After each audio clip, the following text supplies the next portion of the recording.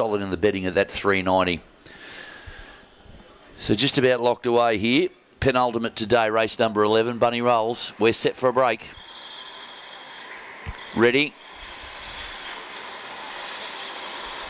Racing, Russian Dylan missed it. Best out, Chief Beach. Headed off by Robbie Eleni. He's on the bunny.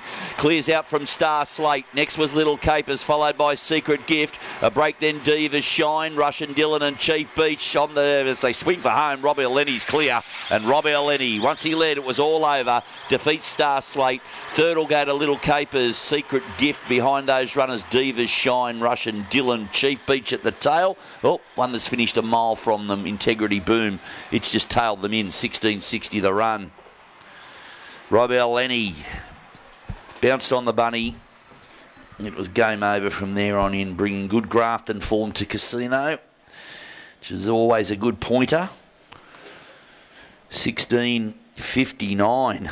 Holy dooly. He has carved out some time jumping on the bunny. Good old Lenny. 1659. Only 0.12 outside Kicking Stones track record. 16.59 for Robbie Lenny. Has defeated number two, Star Slate.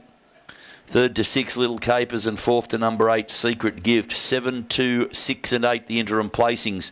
Two and a half lengths winning margin. Two and a half, five and a quarter between second and third. Two and a half by five and a quarter. Seven, two, six, and eight, the interim result race 11. Robbie Lenny, a black dog Paul licking Robbie Millie for Benny Ellis. Defeats two star slate, Shane Staples. Third to six little capers, Jamie Hancock. Fourth was eight secret gift. Seven, two, six, and eight. Two and a half by five and a quarter. 16.59 the time. Race number 11.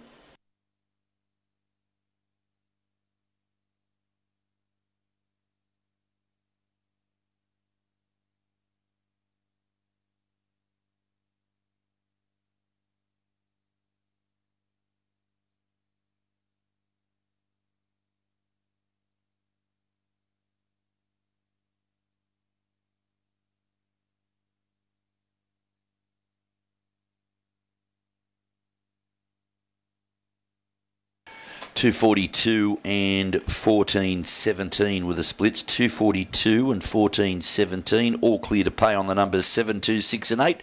All clear casino race 11.